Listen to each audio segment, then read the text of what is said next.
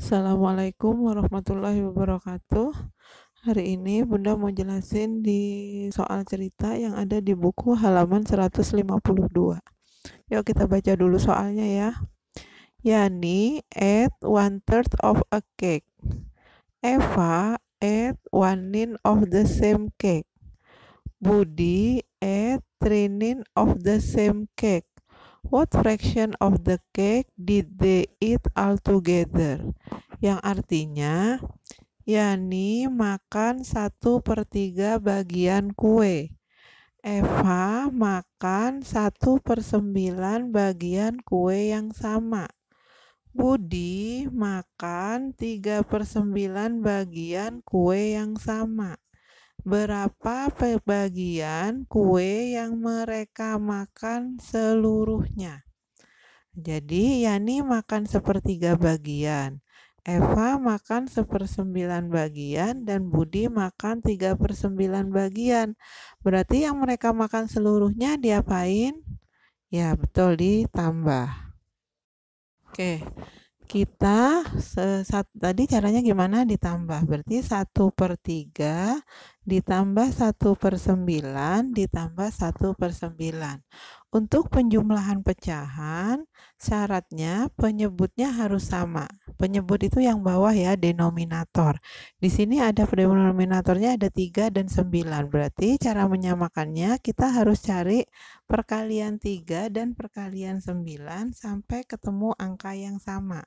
Oke, kita hitung perkalian 9. 3, 6, 9, 12, 15, dan seterusnya. Udah, perkalian 9, 9, 18. Nah, Bunda udah stop. Kenapa? Karena di sini udah Bunda udah ketemu dua angka yang sama.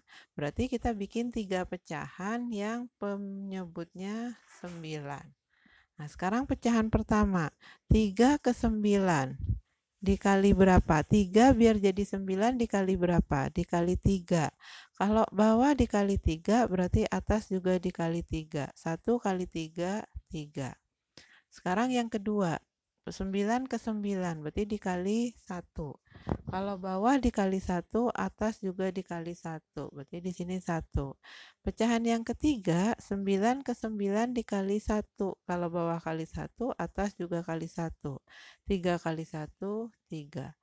Nah, kalau penyebutnya udah sama, 9 berarti cukup tulis satu kali aja. Atasnya yang kita tambah, karena ini penjumlahan, berarti atasnya kita tambah. Berarti 3 tambah 1 tambah 3. Berarti 7 per 9. Oke, makanya di situ dibilang they ate the sevenin of the cake. Mereka makan 7 per 9 bagian kue. Saya Oke, kita lanjut ke soal yang berikutnya. Oke, selanjutnya kita akan bahas soal nomor 7 halaman 153. Kita baca dulu ya. Daddy and Eddie had an apple each. Daddy ate sevenin of his apple and Eddie ate three quarter of his apple. What fraction of apple did they eat all together yang artinya Dedi dan Edi mempunyai masing-masing satu apel. Dedi makan 7 per 9 bagian dari apelnya. Dan Edi makan 3 per 4 bagian apelnya. Berapa bagian apel yang mereka makan seluruhnya. Nah, jadi Dedi makan 7 per 9, Edi makan 3 per 4. Berarti caranya diapain? Ya betul, ditambahin. Yuk kita bahas nanti selanjutnya ya.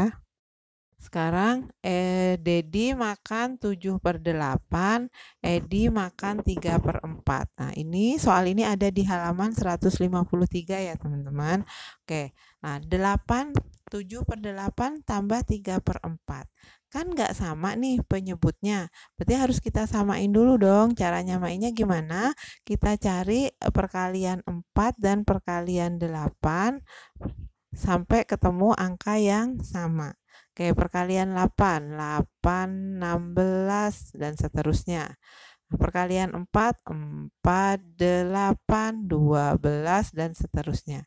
Kenapa Bunda nggak lanjutin? Karena di sini udah ketemu angka yang sama, yaitu ketemu di angka 8. Berarti kita bikin dua pecahan yang penyebutnya 8.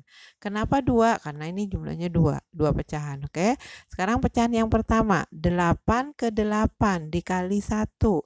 Kalau bawah kali 1, atas juga dikali 1. Berarti 7 kali 1, 7. Nah, sekarang pecahan yang kedua penyebutnya 4. 4 ke 8 dikali 2.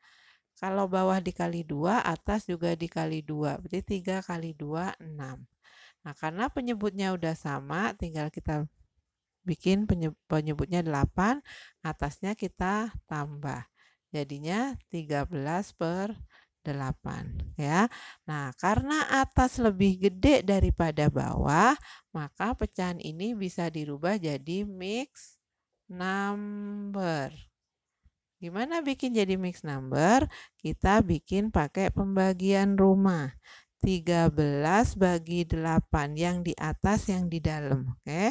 13 bagi 8 berarti 8 kali berapa yang paling dekat sama 13 yaitu 8 kali 1 nah habis itu kita kali 1 kali 8 8 kita kurang. 13 dikurang 8 5 berarti caranya satu yang atas ini menjadi yang di depan. Satu. Lima ini menjadi yang di atas. Lima per, karena ini penyebutnya delapan, di sini juga per delapan. Jadi 13 per 8, kalau dirubah jadi mix number, hasilnya 1, 5 per 8. Begitu ya teman-teman. Oke, kita lanjut ke pembahasan berikutnya. Oke, kita lanjutkan ke pembahasan di halaman 154 tentang subtracting fraction. Apa itu subtracting fraction? Subtracting fraction adalah pengurangan pecahan. Nah, pengurangan pecahan syaratnya sama dengan penjumlahan pecahan, yaitu penyebutnya atau denominatornya harus sama. Oke, sekarang ini ada contoh soalnya. 1 per 2 dikurang 3 per 8 penyebutnya nggak sama kan? 2 sama 8 cara berarti kita terus kita samain penyebutnya. Gimana caranya makan penyebut? Kita sama cari pen, perkalian 2 sama 8 sampai ketemu angka yang sama.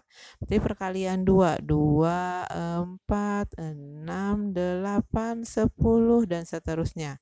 Sedangkan perkalian 8 8 16 dan seterusnya. Kita ketemu di angka 8 berarti kita bikin dua pecahan tapi ini tandanya pengurangan ya dengan penyebut 8 nah, pecahan yang pertama kita cek 2 ke 8 dikali 4 kalau atas bawah dikali 4 atas juga kali 4 berarti 1 kali 4 4 Oke, sekarang pecahan yang kedua 8 ke 8 kali 1 berarti atas juga kali 1 3 kali 1 3 Nah, kalau sudah penyebutnya udah sama, berarti kita tinggal tulis 8 satu kali eh, satu aja.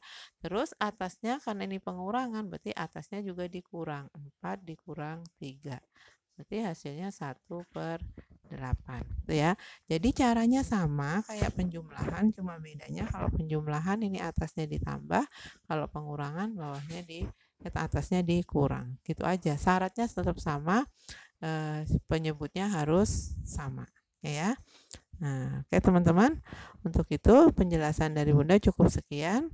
Uh, semoga dimengerti. Uh, assalamualaikum warahmatullahi wabarakatuh